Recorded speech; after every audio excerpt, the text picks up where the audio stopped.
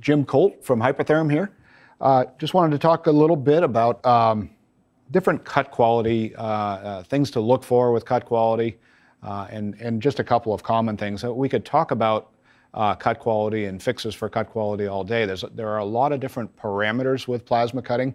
Uh, when you get the right machine, the, the right plasma cutter and the right CNC cutting table, um, generally you're going to have files in the background that have all of the parameters set. So basically you, you, the operator has to tell it that you're cutting half inch steel or quarter inch steel and the machine will help you choose the right parameters to get everything right. You don't cut half inch steel the same way you cut quarter inch steel, different feed rates, different uh, uh, you know, different amperage, a lot of different different factors apply. So I'm just going to look at one example here.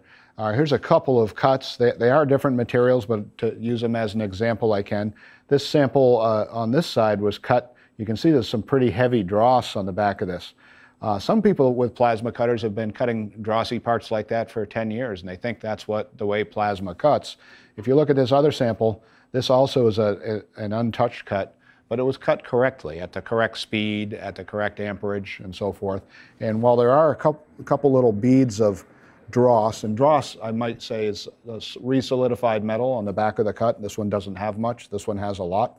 Um, dross is something that uh, we all want to avoid because I would have to spend uh, a couple of minutes chipping that dross off, maybe hitting it with a grinder uh, to clean it up. So what's the, the difference between these two cuts?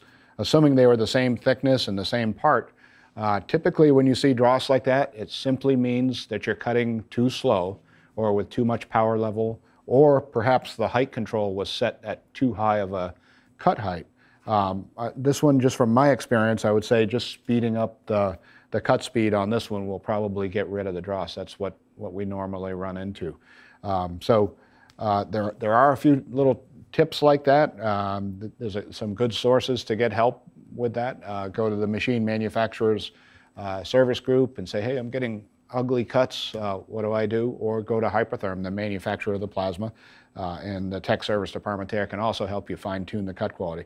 Maybe before you do that, open up the manual because there are a, a, number of pages in the operator's manual that do give you, they'll give you some pictures of some typical cut quality issues uh, in the easy fix. Uh, sometimes just the opposite of what you think it's going to be uh, will solve the problem for you.